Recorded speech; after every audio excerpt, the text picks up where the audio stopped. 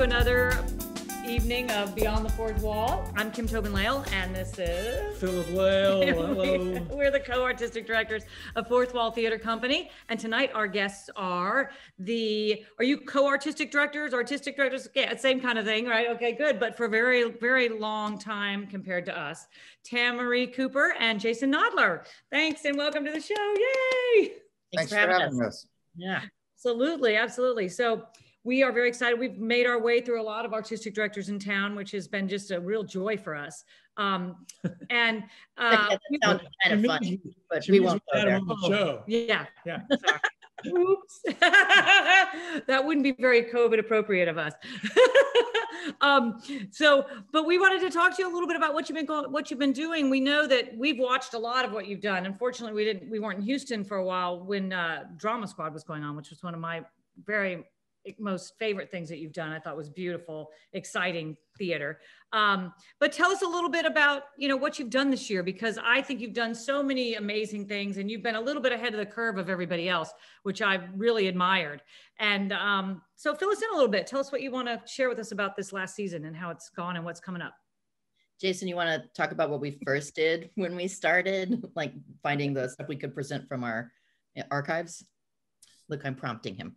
Oh, yes, yeah, sure. Um, while we were trying to plan a season under the new circumstances, because it, it, really wasn't an option to us to not perform, we were trying to find some way to do that. We didn't know how long this would last and didn't expect it to last this long and, and didn't want to go as much as a year without um, some kind of artistic outlet. Um, for our for our company members and for our audience and, and whatever.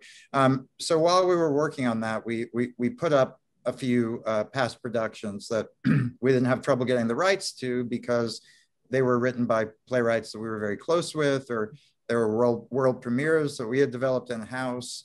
Um, there was one that had an equity actor in it, so that made it uh, more expensive, rightly so. And so we couldn't afford to run it for too long. We had to be on another platform, but we co presented that with the Cinema Arts Society. Um, and, and, we put something like seven or eight shows up while we were planning the rest of the year.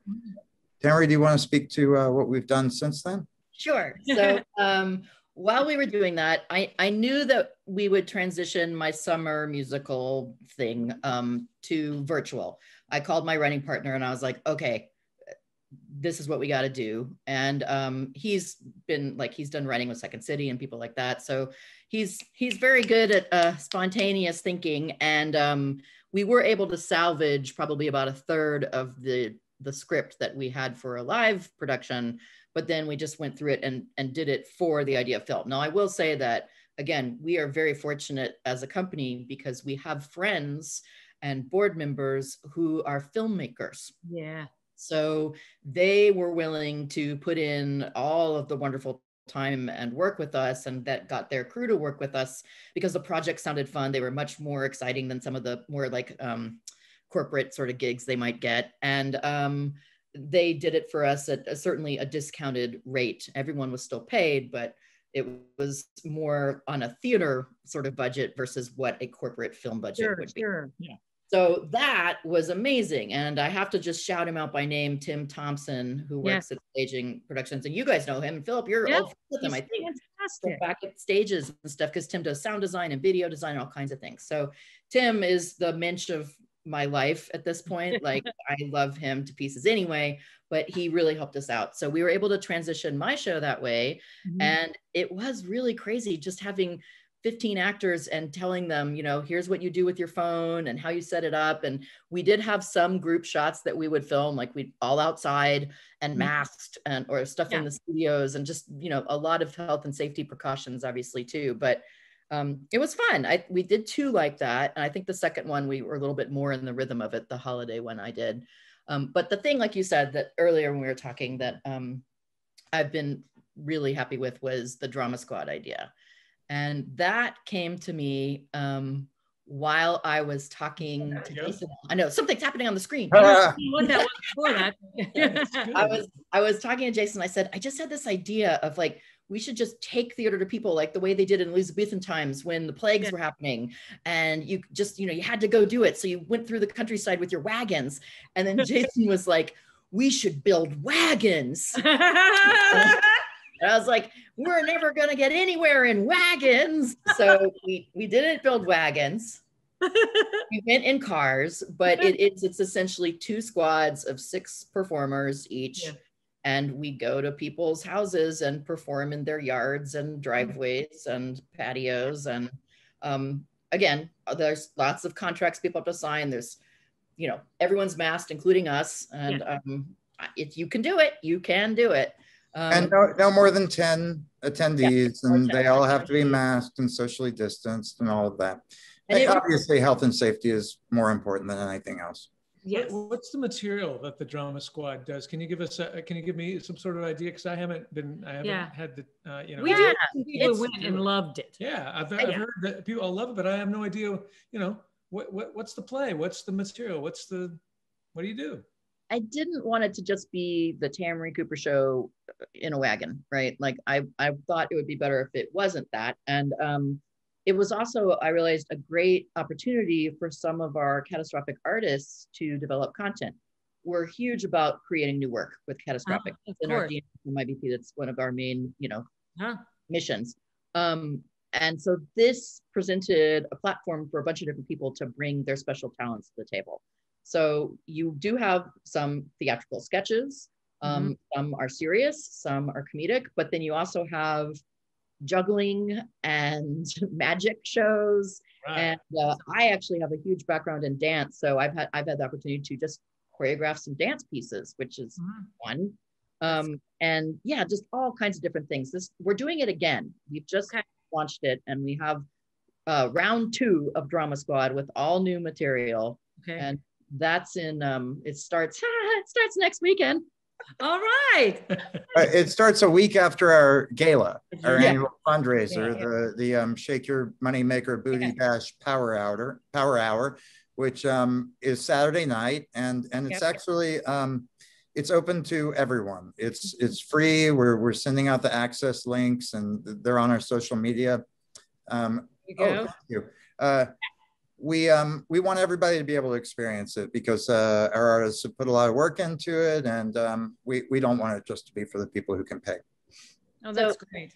We are just rambling at you, but um, I do No, want to the other thing that we um, have coming up after Drama Squad. Um, and Jason, if you want to talk about that, that's Candice D'Meza's 30 Ways to Get Free. Oh, I'm yeah, that sounds great. I'm excited about that piece she's been writing. I've heard a lot of a lot of wonderful things about it.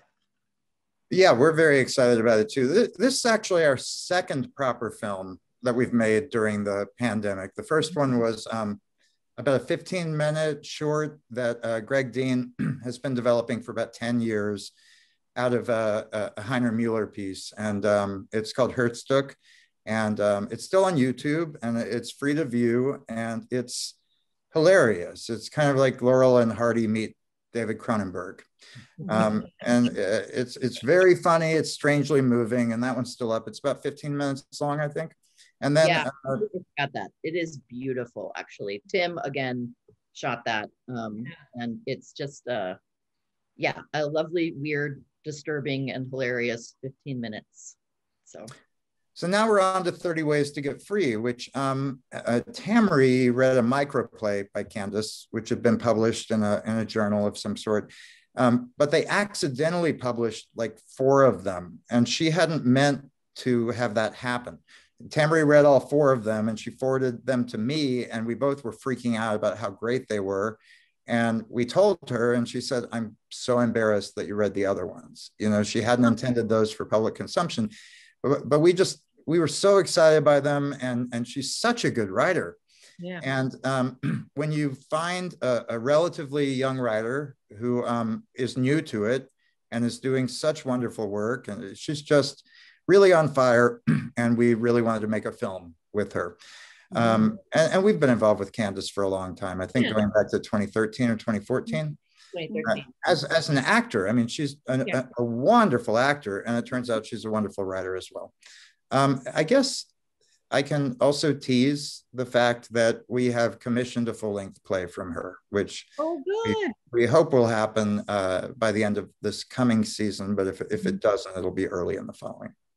That's awesome. I'm so glad to hear that because I just think she's a super talent, and I'm so glad that we have her here. And that you guys have found, uh, you know, the inspiration to help her find a place to, and I think you're a perfect fit for her. That she has a place there that you're going to help her develop a full length play there. I think that's amazing. I'm so glad.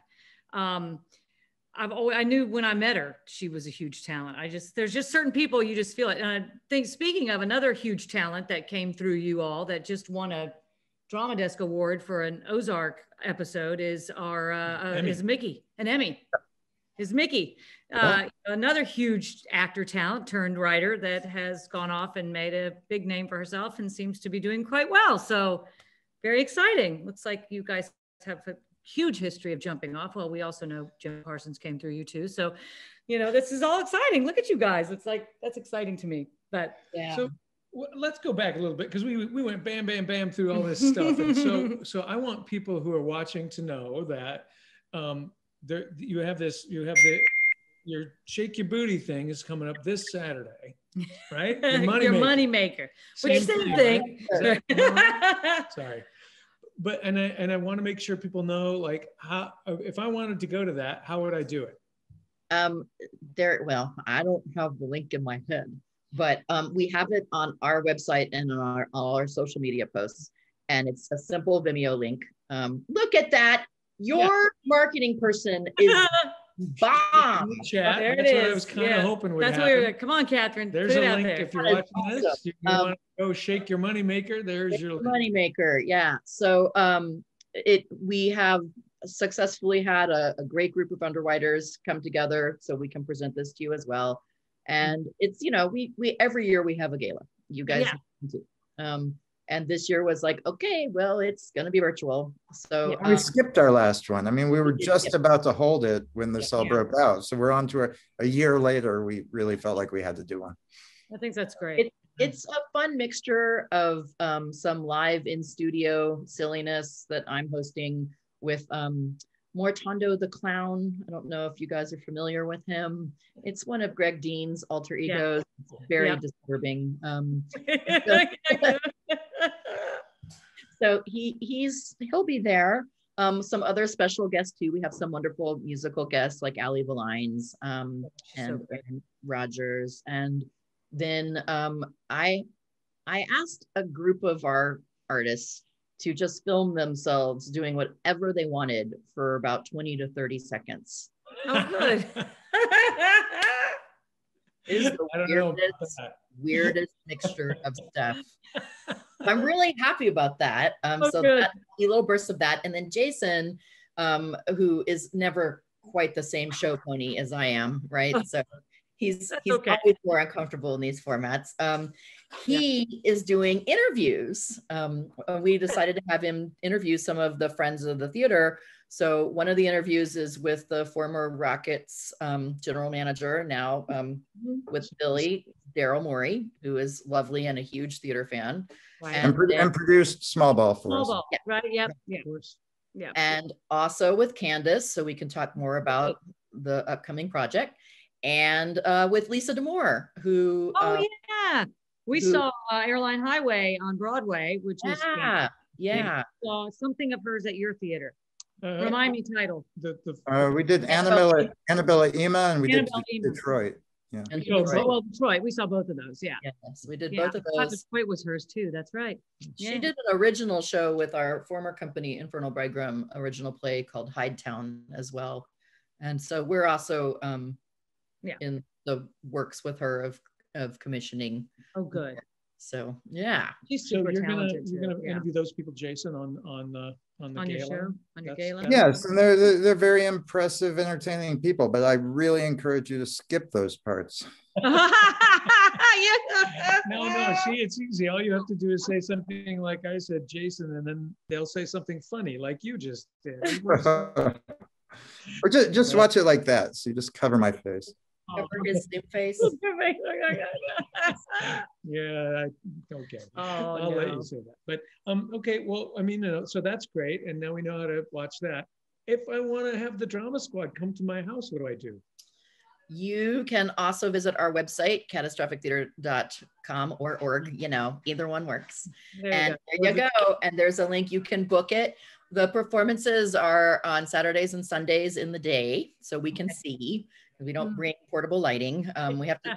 I, I made it so that we didn't rely on any any actual power generated from the sites we go to. So everything has to be operated by batteries. so And I think you said this, but like if I wanted to have it at my house and I wanted to ask a hundred of my friends to come, could I do that? oh, you cannot. Uh, How many? it is limited to 10 people. Um, and then um, we also require that the audiences also wear masks for the duration of the performances, uh, and the actors will too, all the performers And too. what is it, about an hour or is it longer? or- 45 minutes probably of actual um, content. So it's a great little amount. I have to say, as a performer, it has really been one of the most special and dear to me things I've ever done. I think part of it, of course, we're all starving for entertainment and theater and to perform, right? But then it's like this gift you're giving people. You're literally coming and they just walk out of their house and sit down and just six feet away, there you are. The Yeah. level of intimacy is is I I mean, I think some of my favorite shows were the ones we did for just three people. Aw. That was my question. So What's the smallest? Is that the smallest? That, that was the smallest for us was two different ones we had groups of three. Yeah. So it is not a revenue generating concept Right, right, right, right. I, I, I think that the, the ten person cutoff is, obviously, it's a lot for health and safety, but i- with social distancing, that's also the only way that we can really have an intimate performance. Yeah. So this is sort of splitting the difference between intimacy and safe and healthy, or No, health, health and safety. I was just remembering several performances of plays that I've done in, you know, brick and mortar theaters where there were only three people in the audience. Oh yeah.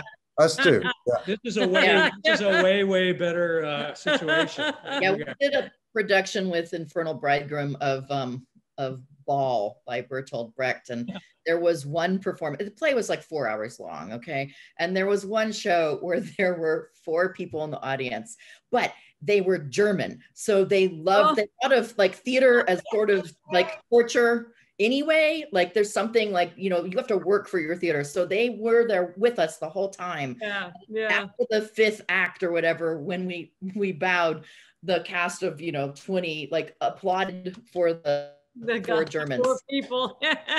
That's great. Yeah. Well, we've all had those, right? Where we're like, where you're all, where the whole cast is in the back going, can't we cancel if there's less than there are in the cast?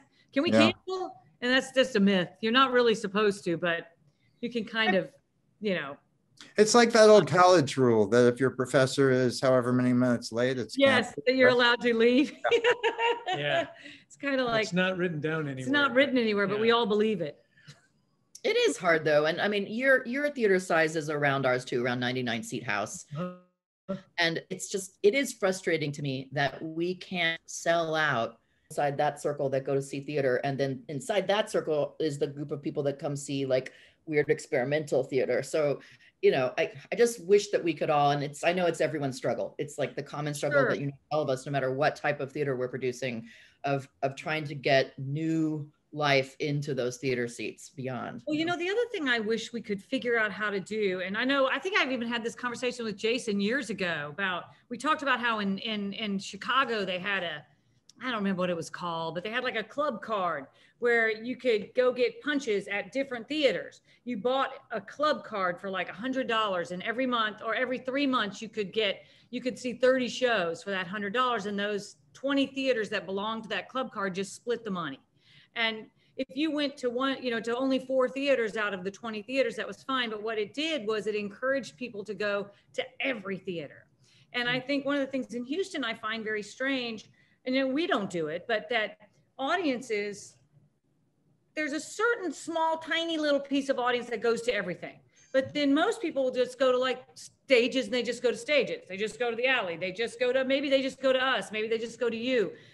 But you ask them about other theaters and you go, oh, well, where else do you go to theater? And they're like, "Mm, this is where I go to theater. You're like, why? if you love it, why don't you just go everywhere? Yeah, that's always a strange thing to me because in New York, I never even thought about the idea that I had loyalty to one theater. That Mhm. never entered my mind. You know, I of course took classes and studied and always went to one, but I didn't think of it as this is where I have to go. I thought, oh, because my friends would come in and go, oh my God, you have to go downtown to the Barrow Street. This, this theater, this show is happening. It's amazing. Or, you know, you have to go down to Cherry Lane, this amazing thing. And they talked about theaters. and the idea that there's not this sense of you know real desire in the audience base to really travel through the whole world of theater as much as I wish we could kind of make that catch fire somehow. Yeah. We try. I know we all exchange ads, we do things, but I don't know. It's a I, hard. th- I think we do a little bit better between ourselves. Yeah. And, kind you know, the artists, i- Yes. if there's buzz about a show, we try to make sure to go see it, Yeah. all of us. Um, you know, we have we have work to do in Houston because uh, New York and Chicago, people are very ready to go to a lot of theater. There's they're theater towns. Um, Chicago has what like 200 theaters, I think, with all the storefront theaters, and New York probably has more. So um, What, there's an anecdote. Was it you that was telling me where you got into a cab in Chicago or an Uber or something? And ah, the guy said, "They, what do you do? "Oh, I'm in theater. Oh yeah, I, I love the theater. I just don't go a lot. You know, like, oh, well, how often do you go? Yeah, I can only go like I don't know, like, you know, twice a month or something. And it was just like, and that's like he was that was uh, Minneapolis, and he was like an old grizzled cabbie straight out of Central Casting, and you just don't Yeah. Even think he's going to know what you mean when you say you work in theater. You know, there's that story about Peter Hall um, getting into a cab in New York and, and being asked what you do, and he said, "I'm a theater director," and the guy said, "What do you mean, movies?" And he said, "No, um, you know, like live plays," and the the cabbie said, "Man, theater is dead." New York City. And then the flip side of that is this cabbie in Minneapolis, you know, that feels Yeah. like he doesn't see enough because he only sees like 20 shows a year. Yeah. Yeah, it's a really great. interesting thing. You know, I think about it a lot and I think about how do you try to affect it? How do you try to change it? And sometimes I think I have great ideas and then sometimes I think, oh, you don't know what the hell you're talking about. And because it's not something that's it's so it's so out in the in the universe as a as a like a ethereal almost idea of how you make it catch fire in a general population. And when you have a population that's a sport population, it's even harder because those, you know, they'll that that's what if I t- see most people in Texas, I'll go. I, that's what I would expect. I would sit in a cab and go. So somebody says to me, "So what did you do for a living?" Oh, well, I used to be a cheerleader. Oh, wow, what team did you were you a cheerleader for? Oh, just for a, a, minor league baseball team. Oh, well, gosh, I wish I got to baseball. I only went to 20 games this year. You know, that's Right. what I would expect in Houston. You know, as opposed wondering if you were actually a cheerleader once for a minor league baseball team. No, I was not. I was for, I was actually, one of my first acting jobs was I was, I lived in Hey, LA. look, he was like, I played softball. something you haven't told me. Yeah, that I did do that though. I played softball as an actor because of what I looked like, kind of like the League of Their Own thing, but Mhm. I was not very good. But it was all about you had to look like this, you had to wear the little skirt, the little tiny shorts, you had to do the thing, and you played in the Major League Baseball game. You played in the in between the two games as a softball player, and we weren't. I don't think we were Uh, very if good. I'd known you then. I only got fifty dollars a game, so it was kind of like really being a cheerleader because they only I get like fifty bucks. like we're off. Yeah, topic. We are, aren't we? Okay, that's okay. That's not really any off topic. What's the topic? right. Exactly. That's what I was gonna say. Yeah. It's about acting. That was acting, sort of. That was like I got paid. Well, so we covered how to get how to how to see uh, your gay your gay. I never know whether to say Gala gala or Gala, Gala Gala. And and we covered how to see how to get the Drama drama, Squad. squad. And then so and Candice D'Meza's film isn't ready yet, right? It's not uh, up yet. No, They're we have posts. just got it into the can and now we're in post. Um, Good. so I believe it will be um, most likely will be streaming in May. Yeah. is what we're looking at. So don't have the dates yet. And we can but- still see Greg Dean's Herzstück. Yes. on, on YouTube. It's up on, On YouTube. YouTube. on our YouTube channel. Yeah. We'll see if we can get that in the chat. But I know. Let's see how many ways we can challenge your Catherine. There she is. It's a- That was so fast. only How do you challenge. do that? You have 10 It's seconds. like a game Yeah, that's show. it. It's like- She is the best. She's Catherine good. Dunaway is her name, ladies Yes, and gentlemen. she's Don't wonderful. Thank you, Catherine. So go to the chat and click all of those. Yes, right. There you go. exactly. Well, um, so so guys, I'm always curious. Um, you know, we've been through this whole uh, thing, and we've devised different ways of dealing with it and performing and doing projects. Let's say, you know, it's coming. I think th- there's going to be a day when we're going to be like, oh yeah, remember COVID? Um, and what is going to survive at catastrophic of, of the stuff that you've discovered during this time, do you think? What are you going to keep doing? What are you, yeah, what are you going to keep doing? I do think first that it really has sort of uh, made us sort of take another look back in and do a lot of reflection about maybe our goals for the future too and, and what really defines us. And um, it really seems that it comes down to the essence for us is the artists themselves and the art we make. Uh, we, you can get into this concept too of the whole idea of having your own big shiny building and feeling like that's what we all got to be working towards right? It's like a capital campaign a capital campaign. And i think we we've gone back and forth with that very quite seriously. And um, just for me personally it sort of took it all back down to you know what do we really need to make art and we just need the bodies and we need the words and and we can do it so I mean, I still would like a set every now and then, but um Sure, sure. Yeah, but but I mean, like But we totally but agree with that idea. do you see that the drum? Do you see the drama squad continuing? I do think that we can absolutely do that. And because it is such a unique, you know, yeah. gift and, and experience. And so yeah, and and it it's not um it's not, I mean, we pay the artists, Mhm. um, and but then the rest of the expenses are pretty minimal. Mhm. We're not we're not building huge sets. It's got a real rough sort of Brechtian, let's do it in front of you kind of feel. Mhm. So um, you know, folding chairs, and I think my cat just jumped into the sink. Um, If you need to There rest, she is. oh, oh, there you Hey, go. doing? Hey. Cat is welcome. Yeah. in any case, oh, Yeah.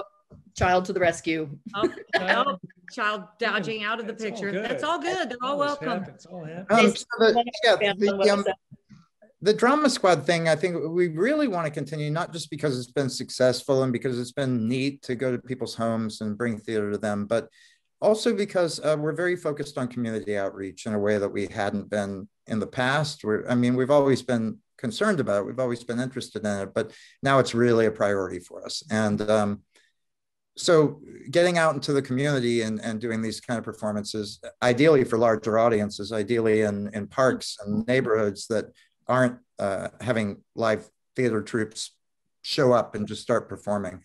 Uh, more like pop-ups, maybe. Mhm.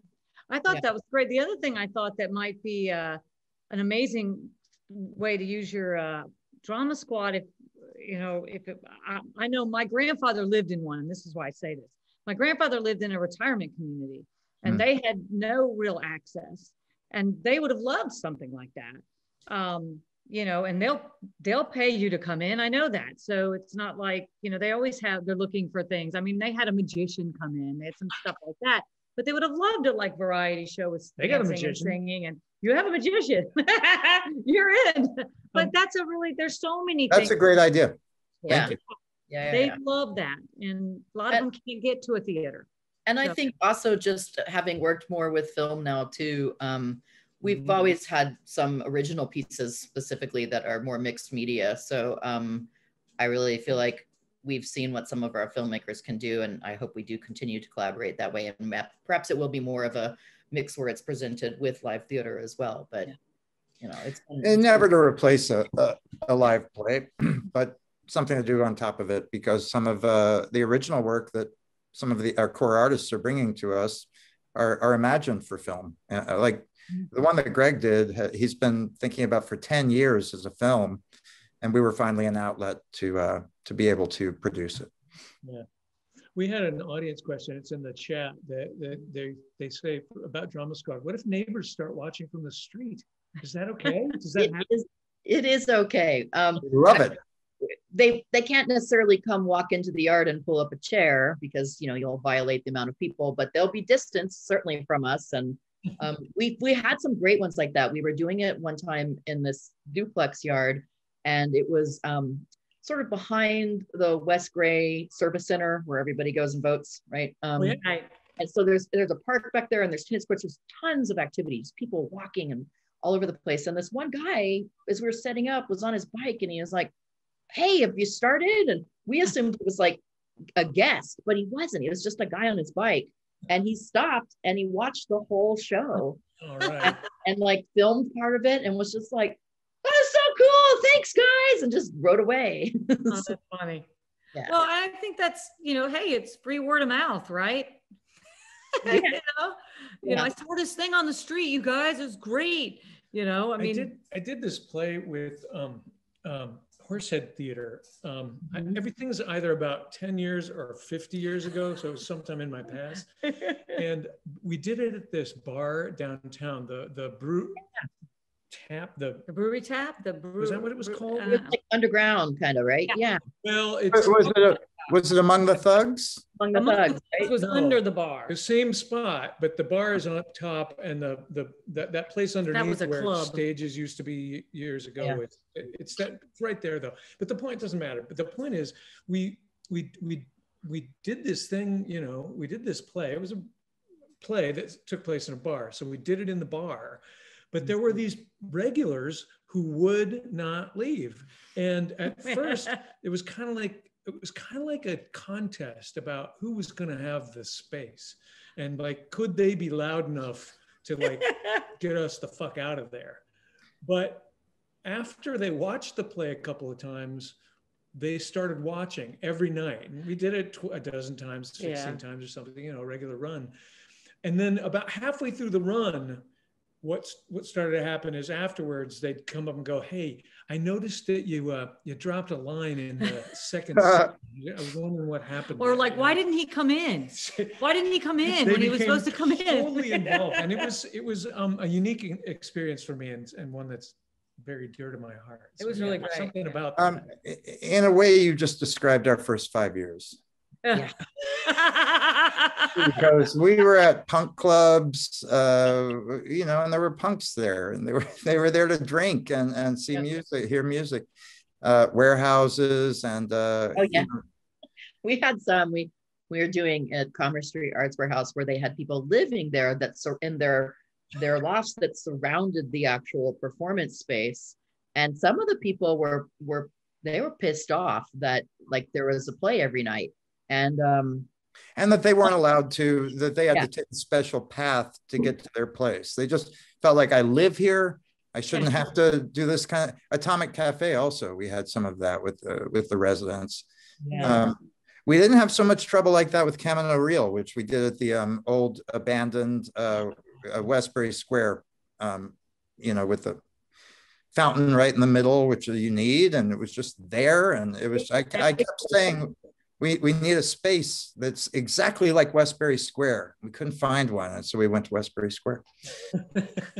But it, it was one of a few outdoor things that we did. It- but they were none of them were in a theater. Uh, in 1998, I think, which we were five years old at that point, um, we got a call from Diverse Works, who had um, seen Woyzeck, or outdoors uh, like three or four times, and Loris Bradley, who was the director of performance then, and called and said, "Would you be interested in making new work with us?" And I said, "To be performed at Diverse Works," and she said, "Yeah." and I was it was like Hollywood was calling. You know, they, had- they had a grid, they had lights, they had chairs. We always had to bring all that stuff. it, it was a real shock. And I think about now when we complain, you know, about, or someone, you know, just some of the things that we now expect yeah. that were just such luxuries to us then, just a roof, you know, and, and air conditioning. I mean, we were doing, Jason did force us to do Jungle of Cities um, in a tin warehouse in July, wearing like fur coats. And it's like, it was a winter in Chicago, you know? They, they keep saying Chicago is a cold place. And then Everett Evans wrote a review, but the headline was great. Uh, IBP's jungle, too hot for this city. It just sounded like, you know, oh. this is an amazing production, right? And then he goes into the thing and he says, I, I left after the second act rather than get heat stroke. You know, it was. I was gonna say, I Oh, was gonna say, I was gonna like play out this part of like somebody in the cast going, "Hey, hey, Tamarie's passed out in the back. Do we drag her out on stage or do we just go on without her?" we did some in such bitter cold. I remember rehearsing Yeah. rehearsing Fairy Orchard, and there was a stray cat in this um, warehouse, and everyone was taking turns holding the cat for warmth inside their coat. You, like you get in trouble. No, it's my turn. Give me the cat. I think we had warmed up potatoes actually. That, that was at the Ionesco one Yeah, act. that's what Jack- yeah, act and the future is in eggs. we passed out warm potatoes to the audience because there was no heat. oh my god. When, Oh. you, when you started out, I guess in 1993, what? Mm-hmm.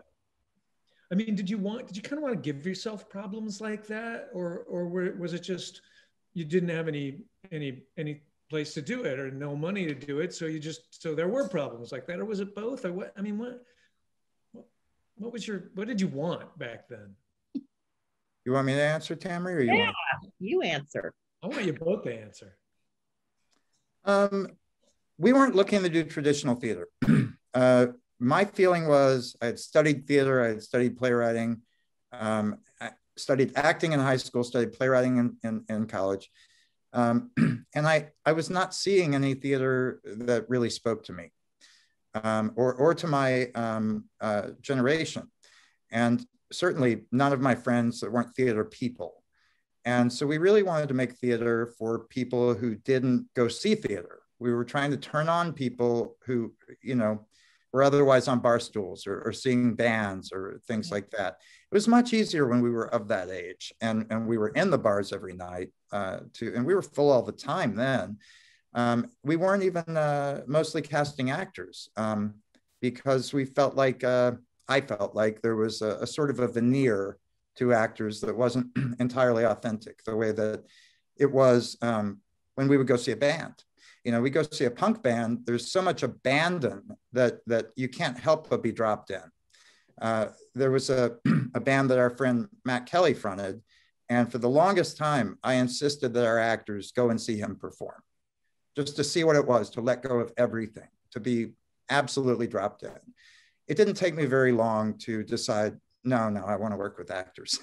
you know, um, for one thing, uh, the the musicians weren't. I mean, they were all performers of some sort, uh, but they they get better gigs. They they were hung over, whatever it was. You know, and we realized, well, theater is important to theater people.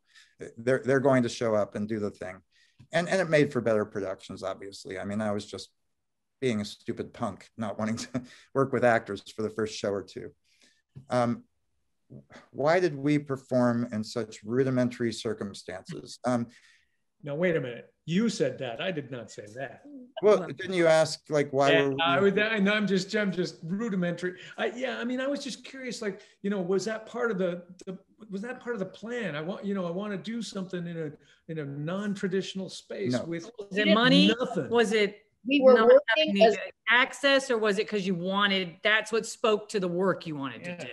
We were working as bartenders in a punk rock club together. Called, Yeah. It was Axiom that was at that time called Catal Huyuk. Um, and Jason got it in his, he got, had come back and said, I want to do this play I wrote. I want to, I want to do this play. Mhm. And that's how it first started. And so because we spent so much time in these bars and clubs and warehouses, it just became the obvious place we could do it. Like, hey, can we do a show in your bar? Fuck yeah. Ooh, I cussed it. Sorry, sorry. That's okay. That's He good. did it already. Okay, but um, but you know, and so that's that's really uh, yeah. I mean, at the time, the thought of like being organized, we didn't have a board for those first couple of years. Sure, We didn't, sure. we didn't No. know how you were supposed to do it. we weren't even nonprofit for our first three years. It was Yeah, all sure. just like, and we operated in the black, but it was it was all just ticket sales and Yeah. um, and, and volunteer work and, and volunteer labor and all that kind of Yeah. stuff. That's what I, I think he's trying to get at is just that you just did what was in front of you and what you knew and what you found and what, and I think that's how all people start.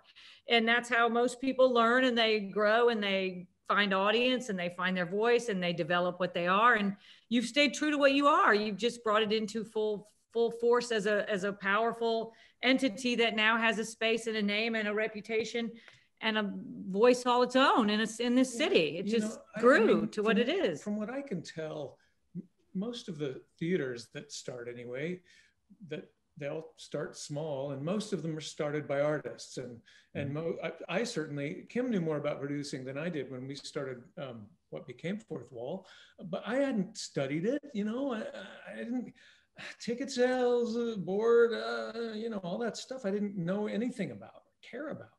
Uh, yeah, and we had to learn it, and you know, get good at some things and try to do better with others. But uh, it feels to me that that's like there. If there's a theater that was started by somebody who went to college to study production, I don't know what it is. Well, that, that happens all too often, I think. Um, Yeah, people seek funding, they start a board, they secure a space, and then they start thinking about who they're going to be and they make their first production. Right. You know, I mean, I know that you guys didn't start that way, and, and I think any no successful theater has started that way, but it Well, happens. think It's yeah. pretty common. I think you're right, Jason. I, I knew right. I knew theater companies in New York that started as a corporation, and Right. then they are they're cold. They have no imagination. They are just trying to make money, so they are doing carousel for the six thousandth time. They're doing you know barefoot in the park or whatever Hey, they hey, barefoot. are Okay, I'm sorry. These are beautiful plays, but you know they're they're. I don't want to do them again, right? Like, you No, know. I, I think, And I, we do plays that are published, not to be saying that that's not okay to do published plays. I, I believe in doing published plays that have a particular voice in a particular environment, particular political time, and with audience, with cast members and audiences that need to have a particular story told. But yeah, but if you don't understand that you're doing it, like you guys said, you have a particular belief in artistry and in, and especially the kind of stories you tell when you are about creating new stories. And then the stories you tell that aren't new are basically a reflection of a still a new voice or a new idea. At least that's what I see when I come. And so I go, oh, this still feels new to me, even if this particular play is not new and artistic. artistically it's it's artistically and aesthetically driven. I don't understand why anyone would want to start a theater for any other reason. I mean, it's it's so much work. Yeah. No kidding. I mean, you're not going into it for the money. no, no, you're not. Well, always thank- been lucky too that we we I mean first off we have each other. Yeah. Um, we met in high school. We were Yeah. uh, dating each other's best friends, and um, then from that point on, just like we worked on the Jerry Brown campaign in 1992 together, and then again punk rock. We were the heads of it because we called the toll-free number that was out everywhere. Everybody was making fun of him for having a toll-free number. And then as soon as you knew it, everybody had a toll-free number. But we called the toll-free number and said, how do we volunteer? And they said, there's no office in Houston, start one. So we, we did Wow. start an office and that kind of sidetracked us for a year from doing theater. Um, Yeah. We were very into that. And, and he came and stayed at my place. He slept on a amazing. futon on the It's floor. Yeah. amazing. We, we could do it. We should do a whole interview about that. You should. Oh my God. you should write a show about that. play, we yeah. crazy liberal political junkies too. Um, but so we've always obviously we're like brother and sister, and we've been each other's jobs this long. So it's great to have someone that you know we get to do this with. But we've also had certain artists and people that have been with us now for 25 years and that, that have continued to work with us. And there have been other waves of people that have come and come and gone. And we've seen some really wonderful young talented people then go off to LA or go off to Sure. trying to Of make the dream happen, you know. And um, Yeah. And some But- will even come back, you know, and wind up like Amy Bruce. She went off to, to grad school. Uh, Jeannie Harris did that. Mhm. yeah, and some come back, and then some people you also see where they do just sort of they burn out, you know, from from acting. They want to do something different. Or I love thinking of someone like George Parker, who is a great filmmaker, but also a great actor. And at one point, he'd been acting with Infernal Bridegroom, and he was just like, "Yeah, I just want to act anymore." And we're like, "Well, but you- you- you're like this amazing talent. You just it's so natural. You don't. It just comes out of you. You're so good. Yeah, I just want to. I want to do film instead." He went to film school. Now he teaches film. He makes films. It's a film production company, and then he, you know, years later was like, "Yeah, I'll act again." So now we get to have him act too. But um, yeah, just seeing the journeys that different artists with us have made. I think If, that's if pretty you cool. don't know him, he uh, he played Berenger, the lead in Rhinoceros. He also played Yes. Tom Paine when we did And wasn't he He in Jim Lair? Uh, No, he was No, in uh, Detroit though, right? Yes. Yeah. Yeah, yes.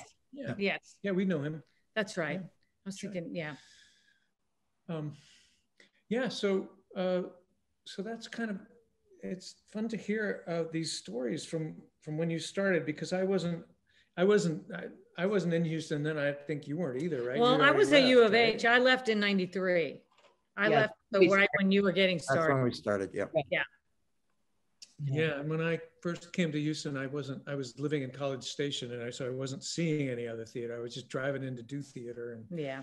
and uh, there there are these these productions that IBP back when you were that did that I the the first I always I'm not I'm I'm very unsure of how to pronounce Brian Yuka or Yeah, Juka. that's it. We Yeah, that the one of our airplanes is missing. Is that the We have some planes.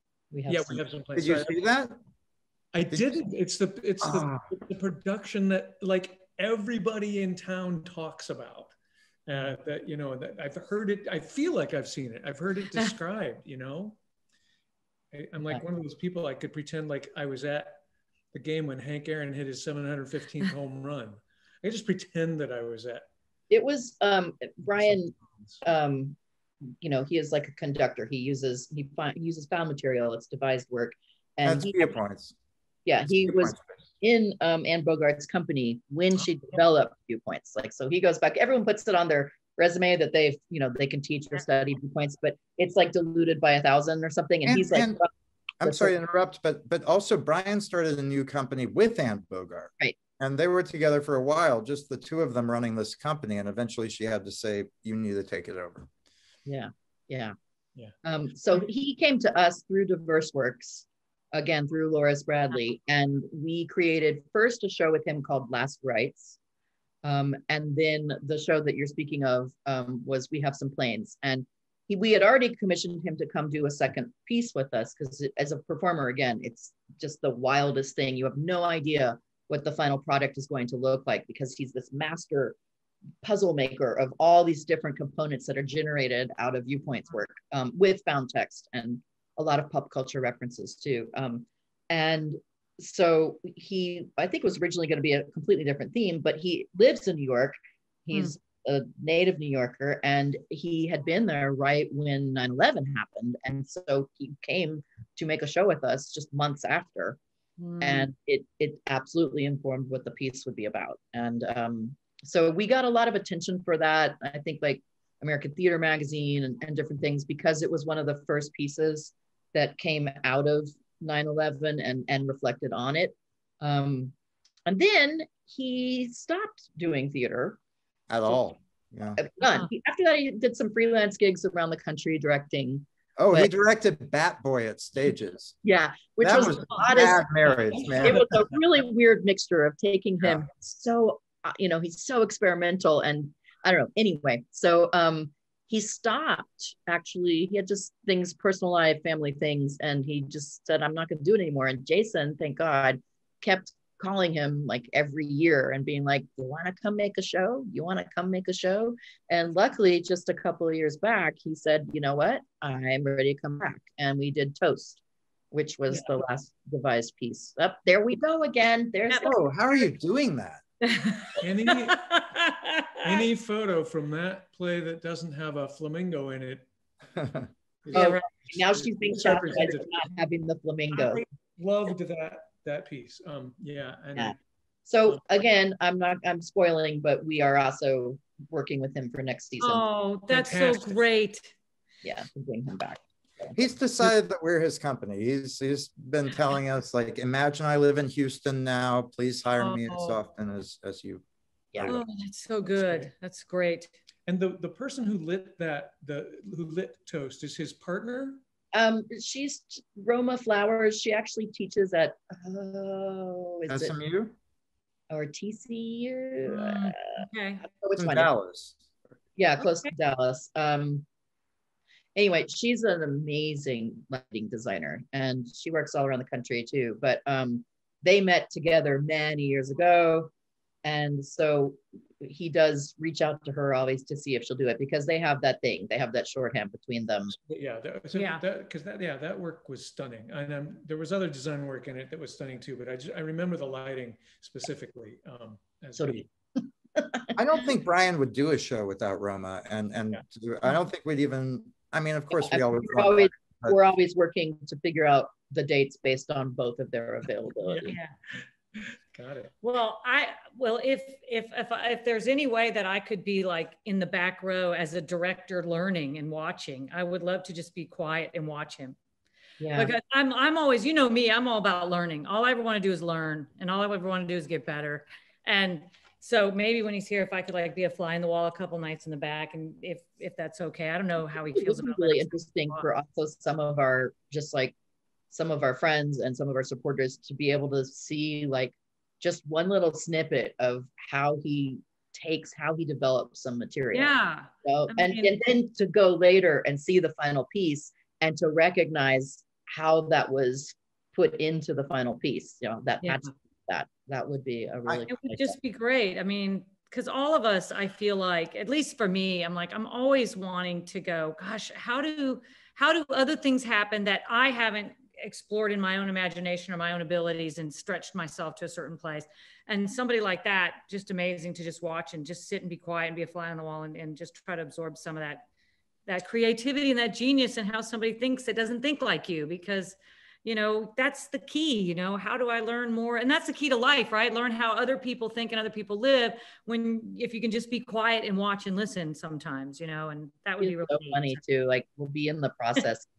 He'll have you do something for, you know, I don't know, two minutes, 15 minutes, whatever. And then he'll walk around and individually come to different people and be like, okay, um, what you did, you know, can we try that, you know, upside down and backwards next time? Or let's do that, but let's pair these. And then then there'll be the unfortunate time where like he comes up and he goes, So uh-oh yeah you just didn't have any ideas then, did you? You're or, like- or he's like, don't Yeah. do that. You okay Okay.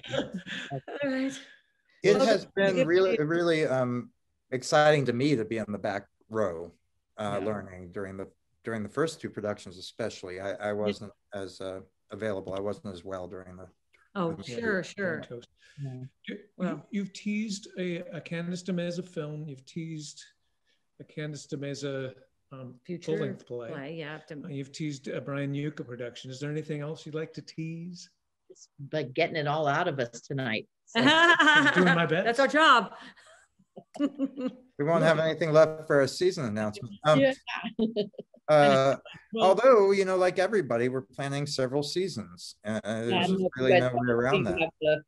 September start, November start, January start. Like wh- when I do we you. actually get into the theater? You know, right right yeah, we're in the same. We're the boat, same. We, we had started September. Now we're like, well, we usually only do one show in the um, fall now. We don't do Christmas anymore. We're like, let's skip Christmas, let everybody else have Christmas. And we just do, so we're going to do, Oc- uh, we're going to try October and then shoot everything in the spring. So hopefully at the very least, if we had to not do the spring, uh, the fall, yeah. spring has to be okay. I mean, everybody should be inoculated. We should have some kind of herd keep thinking. I mean, it's, it's sounding better and better. I know that I read an article today that Broadway's in full preparation for opening. So that's all good signs to us unless it crashes, unless it turns into a disaster. That would be, you know, but let's, I'm, I'm going on the positive. We've all done good work. We've worked hard to try to have stuff available and be good citizens as artists. So I'm hoping we're all going to get our good karma back. That's what I'm going there- with.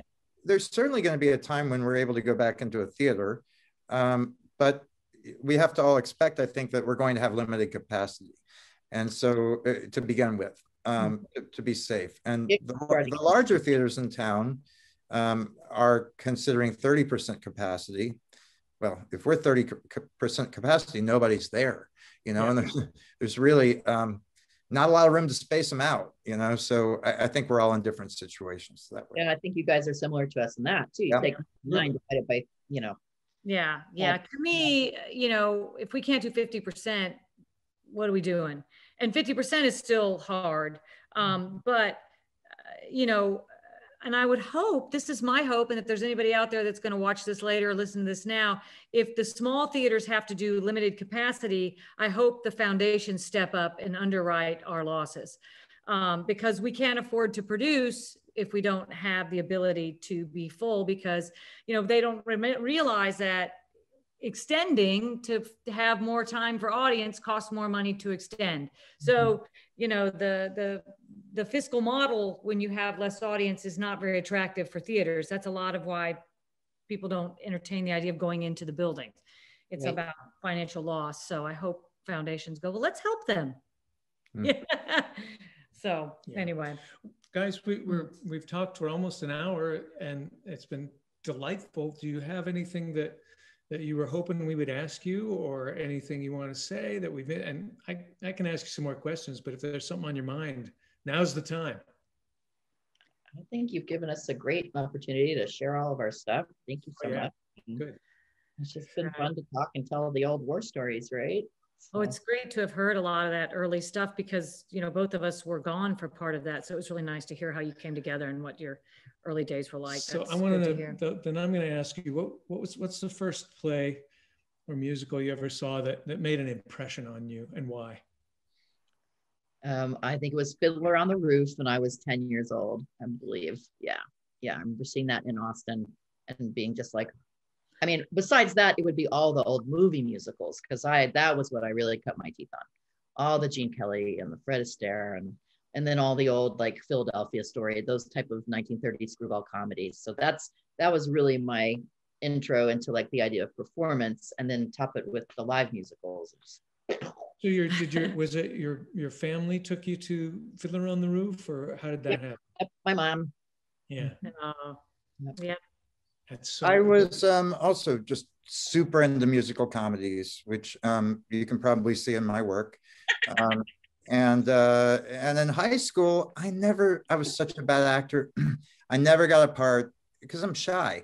I- I couldn't drop in, and uh, I never got a part except in musicals at the Jewish Community Center. So my relationship to the Fiddler on the to Fiddler on the Roof is that I played Perchik, and it was probably my greatest triumph as an actor, except for the song, which they usually cut, but they made me sing anyway, and I'm tone deaf. I can't sing at all. Aw, I bet you were charming. I bet you were very sweet, shy and charming, and just did a beautiful job. Is. Perchik the Russian soldier? Yeah, the rebel.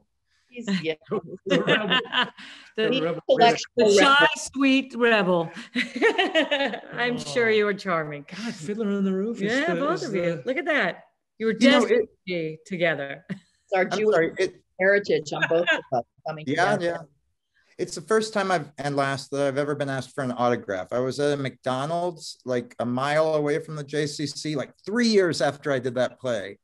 And this family very nervously approached me, and one of them said, "I'm sorry, were you in Fiddler on the Roof?" And I said, "Oh yeah, yeah, I was. Um, that's really nice that you remember. I hope you enjoyed it." And they pulled out a napkin and said, "Could you sign this for us?" And I don't think I've been asked to do that ever since. It was very wonderful, you know. And uh, if you're watching this, please ask me for my autograph. I've waiting since I was like 19 years old. There's going to be so many people. People are going to come up to you at shows and go, now. Can I have your Are you- autograph? are you- yeah, I need your autograph, man. You're going to be like, Oh, please stop asking me for my autograph.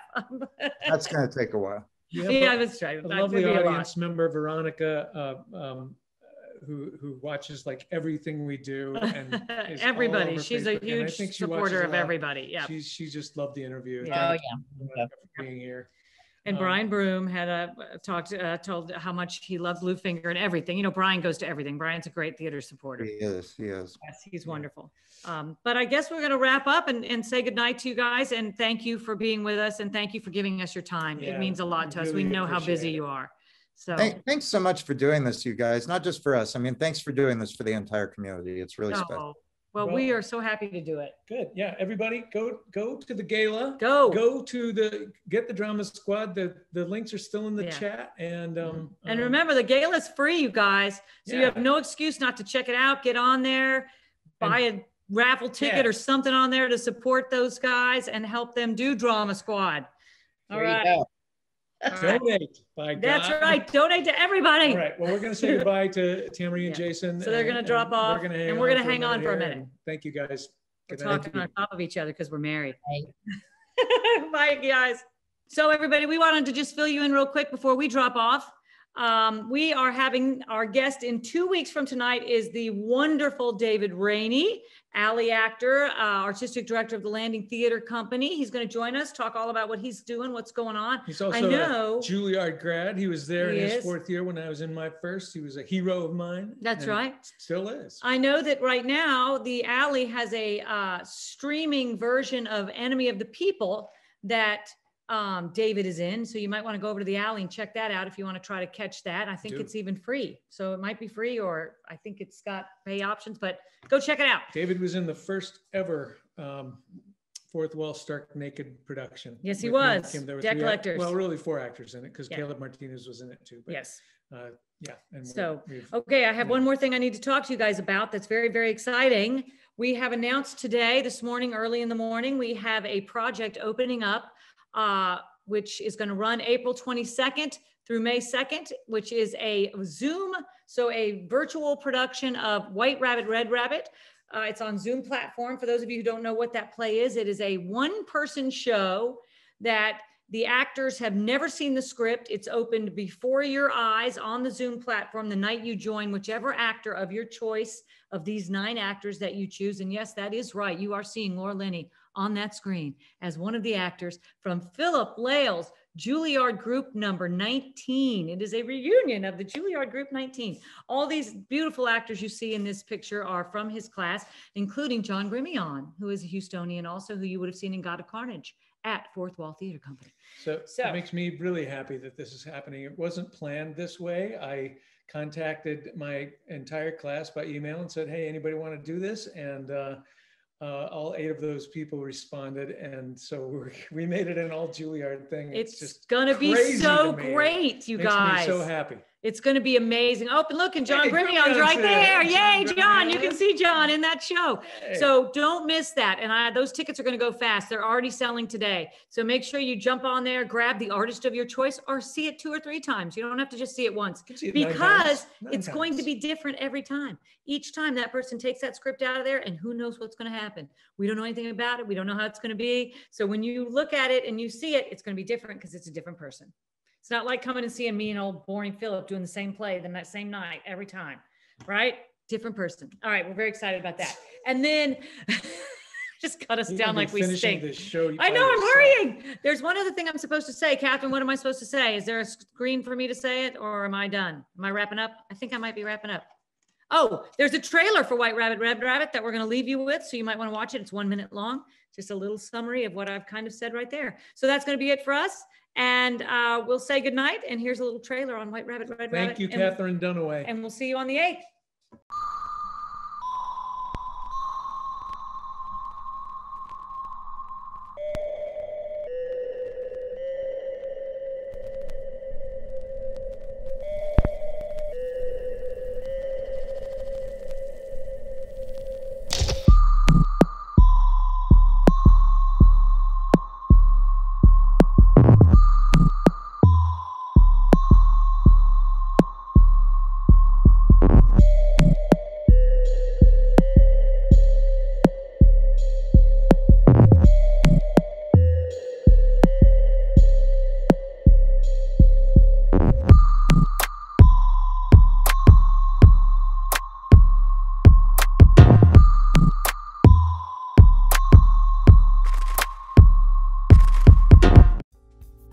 Beyond the Fourth Wall is produced by Fourth Wall Theater Company, Houston's home for extraordinary performances up close.